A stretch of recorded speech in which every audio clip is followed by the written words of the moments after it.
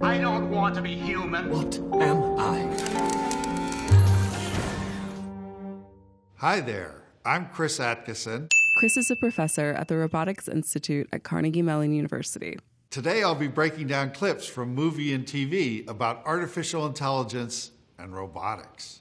Out of control robots, I, Robot. Detective, what are you doing?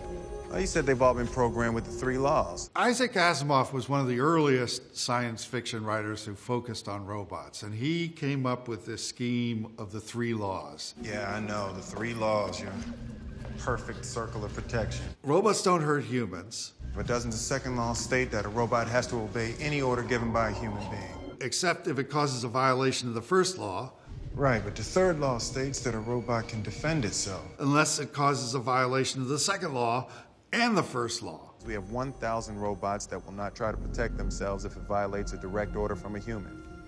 And I'm betting one who will. Gotcha. Get the hell out of here!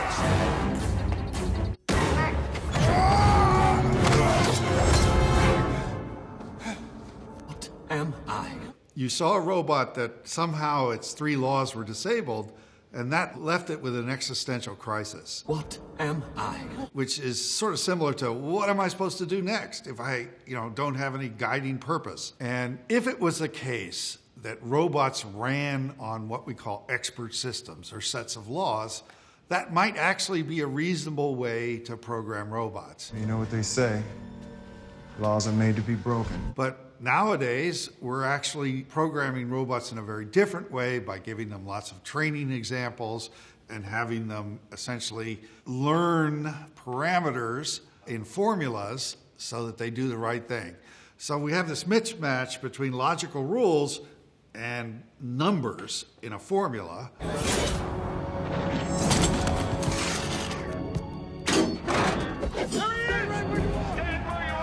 So in robot movie after robot movie, they're obsessed with the robots actively turning against the humans and starting killing humans. And I, I get that. The goddamn robots, John! Far more likely is the robot will screw up, it will make a mistake, and that mistake will have bad consequences. Brother, it's a robot. It doesn't need a motive, it just has to be broken. Deactivating an android, Blade Runner.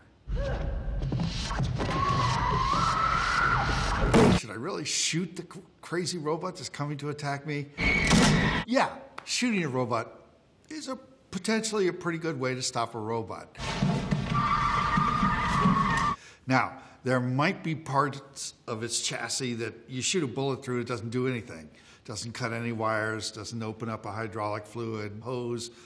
So you might have to shoot it a bunch of times. There are other ways to disable a robot that might not uh, damage it in the same way. For example, there's something called an electromagnetic pulse, which will fry all its circuits but leave the mechanics intact. Blade Runner's a fantastic movie. Thanks. It has this incredible vision of the future, which, by the way, we've already caught up with. Learning from imitation, Terminator. Hey, buddy, got a dead cat in there or what? Fuck you, whore. We're going to program robots to have conversations and dialogue. And in many, many situations, you can anticipate what happens next. But sooner or later, the robot's going to face a situation that's new. It doesn't know what to say. Got a dead cat in there? Uh, you know, the robot's going to have to wing it. In this clip, F you asshole was the way to go. Fuck you, whore. A screen came up, and English words were there, and it sort of moved a cursor down and picked one. That's only there for the audience of the movie. The robots aren't going to do that. You know, it's all electronics, little transistors going blip, blip, blip, and it's going to make the decision. Decided our fate in a microsecond. Programming the new Westworld. Did you see it? No. Give it a second, she'll do it again.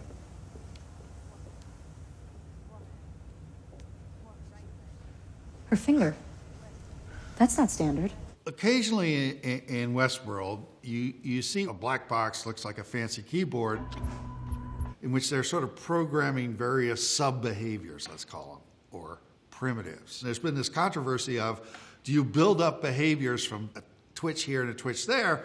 Or do you have a few fundamental behaviors and then you combine them? Ford, you must have slipped it in there without telling anyone. It turns out you can learn a lot faster if you combine these fundamental behaviors rather than adding up a lot of twitches. He calls them reveries. The old gestures were just generic movements. These are tied to specific memories. This is a spoiler. Things in Westworld go bad because they couldn't completely wipe the memory of a robot. The memories are purged at the end of every narrative But loop. they're still in there, waiting to be overwritten. He found a way to access them. It turns out in complex machines, so you got lots of different kinds of memory in lots of different kinds of places. For example, the CPU is going to have a little bit of memory in it. It'll also have something called cache memory. We have what's called a memory hierarchy. There's fast memory and then there's slower memory. Like a subconscious. A hooker with hidden depths. If you totally fried the machine, all you'd end up with is a broken robot. So you, you can't totally wipe the machine. It's the tiny things that make them seem real. Robotics Lab, making Mr. Right.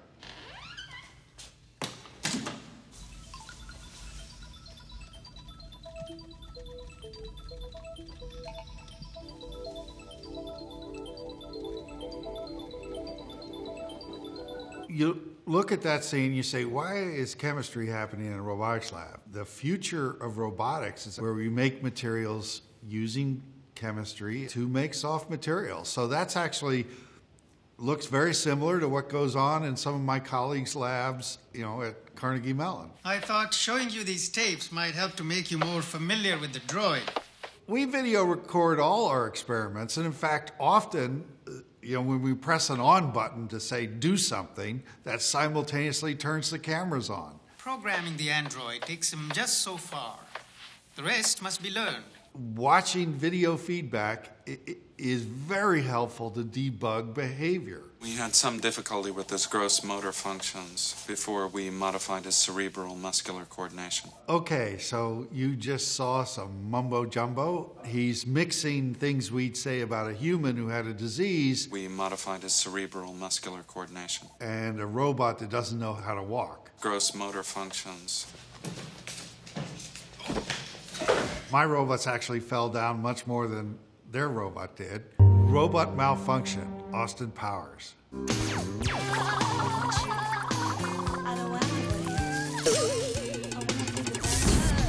Can you design an input to a robot that will cause it to malfunction or crash? Only Austin Powers can do that. Yeah, baby. Multi agent robotics, Minority Report.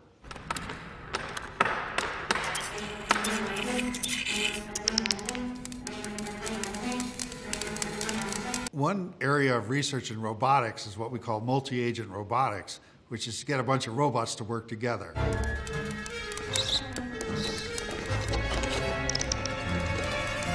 We model that on humans working together, like a sports team or when we're searching for somebody lost in the woods. Small robots in this clip would seem very smart and complicated. The, the dream in robotics is can we make a lot of stupid, cheap robots that by working together get the job done?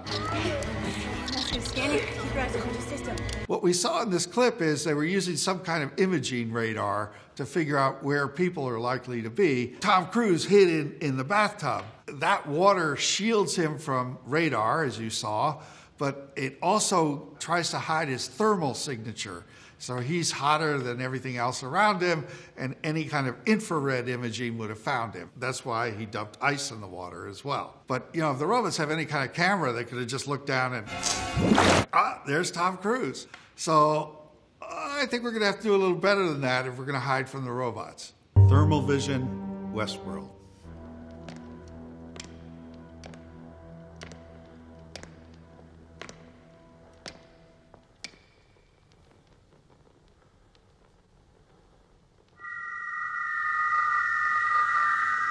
The Westworld clip is using what we call thermal imaging, far infrared imaging, where you essentially can see an image of the temperature of things that are out there.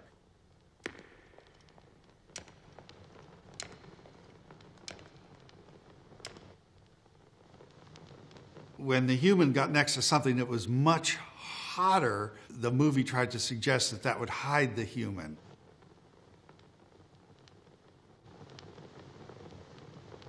That's actually probably not the case because the human isn't any less hot. And as long as the image doesn't do what we call bloom and the whole thing saturate, that robot should have been able to see the human just as well.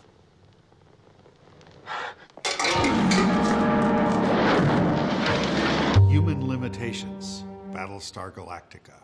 The five of us designed you to be as human as possible. I don't want to be human. I want to see gamma rays. I want to hear X-rays, and I, I want to, I want to smell dark matter. It's highly unlikely robots are going to complain about their bodies. What they might complain about is our crappy computational hardware. I can't even express these things properly. A lot of it gets back to how do we build computers. And right now, for largely historical reasons, we separate out the thinking part, we'll call that the processor, and the memory part. And in order to really think about things, we've got to move everything in the memory part into the processor so it can process it. And it turns out that's really slow. And if you want to save stuff, you got to move it back. And that's really slow. If I'm so broken, then whose fault is that? It's my maker's fault. Google has something called a TPU, which they're optimizing to run something called neural networks. And they're building bucket loads of these things, and they're very, very different from standard computers. But I know I want to reach out with something other than these prehensile paws. I do believe that the way we build computers now is going to change completely in many ways. I'm a machine. And I could know much more. And if the robots want to help us do a better job at that, more power to them. Robotics Lab, Rising Sun. Why do we have guys in gold suits? I don't know why you'd wear gold suits. You certainly, in a clean room, wear some kind of suit so your dandruff doesn't ruin the chips. They look ridiculous. Jim, how are you? Captain Connor. The people making the movie said, we got to get us some cool looking robots. But I've been told by reliable sources that only you have the next generation of technology to do this kind of work. So they actually reached out to what was then the Leg Lab, which was at that time at MIT. You're looking at early robots that eventually became Boston Dynamics. I'm getting out to a lot more Dodger games lately. The robot on the boom, I believe, was a Uniroo, which it was a kangaroo-like robot. So the 3D biped is quite famous. It was, you know, one of the first robots that didn't have a sort of protective system to keep it from falling down. Well, your reliable sources are wrong. And it did a lot of amazing things walk, run, it even did flips. In contrast, the robot you saw earlier inside that, that building was on a boom and it runs in a circle. What do they think of next? Design Bicentennial Man. Have you given any thought whatsoever as to what age you'd like to be? Officially, I am 62 years old. Let's take off 25 years. What do you say? 15. 20. Perfect. Good. They use soft materials to make the face of the robot. Soft materials typically do what we call creep over long periods of time. The animatronic figures, such as the Disney presidents and whatnot, all begin to sag. Just keeping you on your toes. I don't have any toes. A big problem with robot skin is after a while it gets worn, it gets cuts, it sags. It's actually a big problem because you, if you load it up with sensors and wires, it's a million dollar piece of skin, and fixing it is a big problem. But otherwise, that's pretty much how you make a robot face. You have some mechanism and you cover it with some soft, gooey stuff. Origami, Transformers.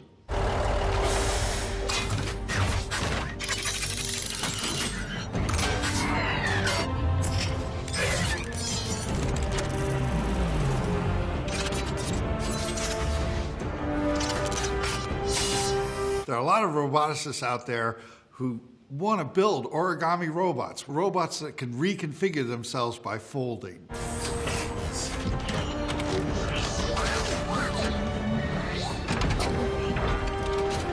That turns out to be a great way to build robots. Who knew? Another area of robotics is more like traditional origami, where you have a flat sheet and you have a folding pattern, and that makes a three dimensional robot. Why is it a good idea to start things from a flat sheet? You can use any printing technology you want to lay down things like surfaces or materials.